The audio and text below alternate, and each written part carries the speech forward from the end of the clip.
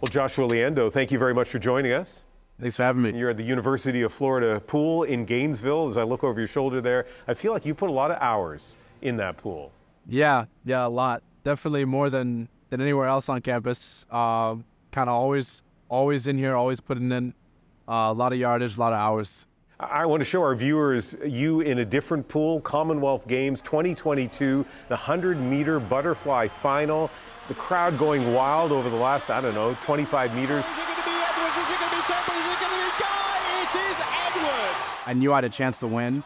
Um, and I just, you know, just that, that last 25, obviously the, the crowd's going crazy. I just kind of zoned in and tried to put my head down and get my hand on the wall. But uh, being able to get that kind of first milestone for me, um, the, obviously first uh, gold medal at an international on the international kind of uh, larger meet uh, stage was uh, was definitely um, a good, really good experience for me.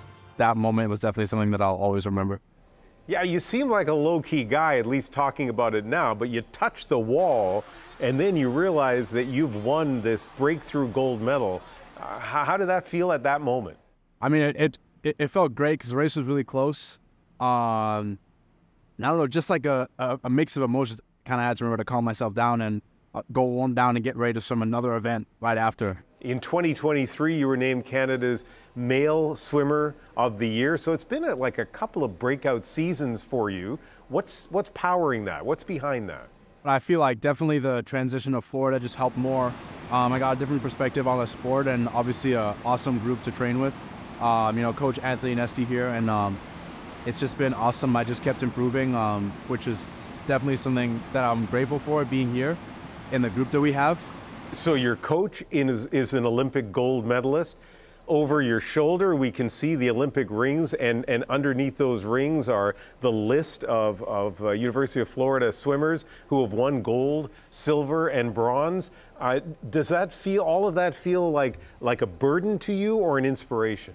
Definitely not a burden. It's for sure an inspiration. It's kind of cool to look up, and you know, you have the record boards, every you know, records all around and kind of seeing the kind of greatness that this program is uh, has had is definitely motivation for me. I don't I don't even say I really feel the pressure. It's just something that I look up at and kind of seeing what people have done in this program, and then it just gives me gives me more fuel to try and get to the level that they've been at. 23-27, a new Canadian record for Joshua Liendo you are going to become known more and more in Canada for what you primarily are, which is an elite athlete. But what's your life like away from the pool? Away from the pool? I don't know. Like, you said, I'm pretty low key. I'm pretty chill, but I mean, I I enjoy watching sports. You know, playing playing video games, hanging out with my friends. Like just typical, just typical college kid right now. I enjoy music. I I played music in uh, in high school a lot. Still play a little bit. Uh, but yeah, I just try to. I don't not always focused in on on swimming. Obviously, obviously when I'm here, I'm, i try to be present. I try to be really focused. But obviously, when it's time to kind of wind down and time to th- not think about the sport, I make sure I'm kind of you know removing myself, give myself a break because it is really intense once I'm in here. You were born in Canada, went to, to Trinidad for a few years till you were nine or 10 years old. Um, what impact has Trinidad had on you? I mean, it's it's where I learned to swim. So it's it's where I started my swimming journey. It's kind of where I started realizing uh, my potential and my goals. And yeah, it's just a, it's a it's a huge part of um, just me right now in terms of the sport. You know, the, the, the, Caribbean nations are known for producing world class sprinters, Jamaica in particular, but really all, all, the various islands, including Trinidad. Not so much world class swimmers, and yet you have these islands surrounded by beautiful ocean. Why do you think we're not yeah. seeing more elite swimmers from the Caribbean? Um, I don't. You're, you're getting more like now, more recent. I think as the the kind of coaching and the intention to the sport gets a little better, they're kind of seeing they have kids have more role models like you know Dylan Carter, and you have obviously George uh. When I was there, uh, was a huge role model. But yeah, I, I think it's definitely on an upward trajectory. If you look around and see the kind of athletes that are coming from the Caribbean now. I mean, you're a Canadian. You're a Canadian kid. You're a Canadian athlete. But but uh, do they know about you in Trinidad? Like, have they taken a little bit of ownership of you?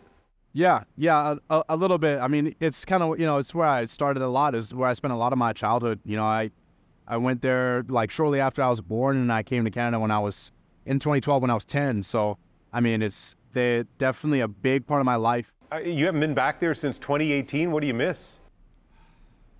The weather, honestly. I mean, now I'm in Florida, it's just a little better, but when I'm in Toronto and it gets really cold, then it's like, yeah, I definitely miss the weather. Uh, yeah, the weather, the people, you know, the lifestyle. Uh, it's just awesome over there. Obviously, Trinidad's beautiful. Josh Liendo from Canada, Commonwealth Games champion and bronze medalist from last year's World Championships.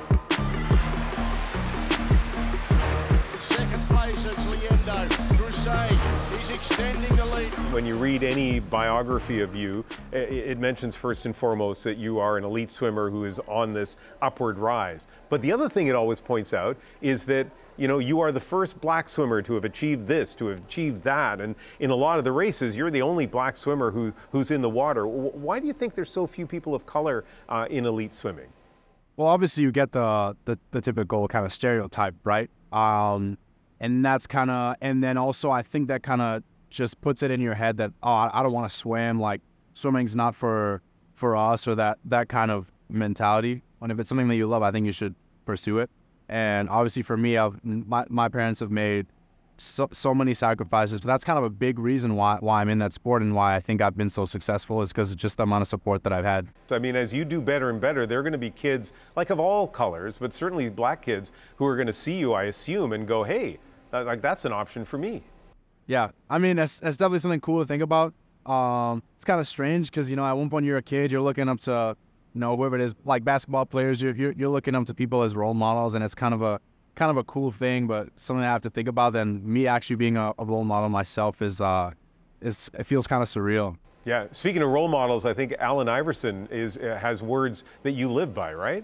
Yeah, I mean I I love Al- Allen Iverson. My parents and both my mom and my dad loved watching basketball when I was younger.